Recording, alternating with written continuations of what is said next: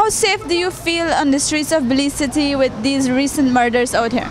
Well, practically, I really feel safe because I don't see any danger around and I, like around this area, and I practically, I really, I really walked on the. I don't walk on the, like the south side mostly where where they say the gangs are. So I am not in a gang, so I, I really feel safe. In a way, in a sense, really, I don't really feel safe. That's why I don't stay out the night. I do everything the day and then I go home the night before night. So Um, like what time would be the latest you would stay out? five. 5 p.m. What do you think um, the police needs to do to ensure more citizens to feel safe on, on the streets at night? Have more um, patrol, police patrol and different thing at night. A lot of police. Need a lot more security.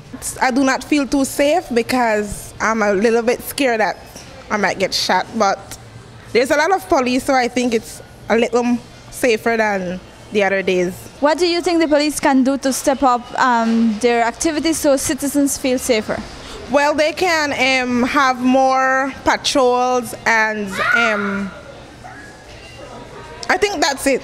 Honestly, I feel quite safe. I feel like the police presence has increased over the past few months. I have to give credit to where credit is due, and police presence has increased, and I, I feel pretty safe. I mean, once you don't go into the bad areas and you, you don't, you're not involved in any sort of crime or you have problem with anybody, I, I think you're good in the city. Actually, I feel that um, some of these people who are killed have problems with other people.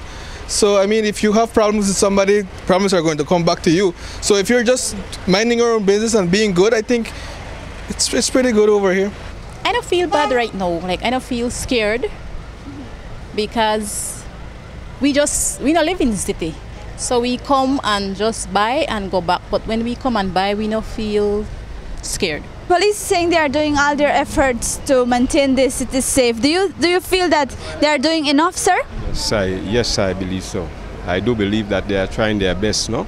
But people will react the way they want to react. What happened now, many of us have keep God out of our life, and because we keep God out of our life, that's, that's why we have all this crime and violence. But as long as we have faith and believe in a God, I believe that everything's going to be all right.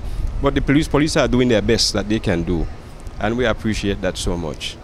Do you see the police presence around where you guys live or around in the city when you come here? Yes, I do. Yes, we, we, we pass them. I don't feel too safe with the with, with the law people of this country because a couple days ago I had an incident with the GSU people there. They, they, they, they vandalized my room and thing and this place is a, a private place now uh, and they just went to this man place and uh, kicked down my door and uh, uh, rang, up my room and thing.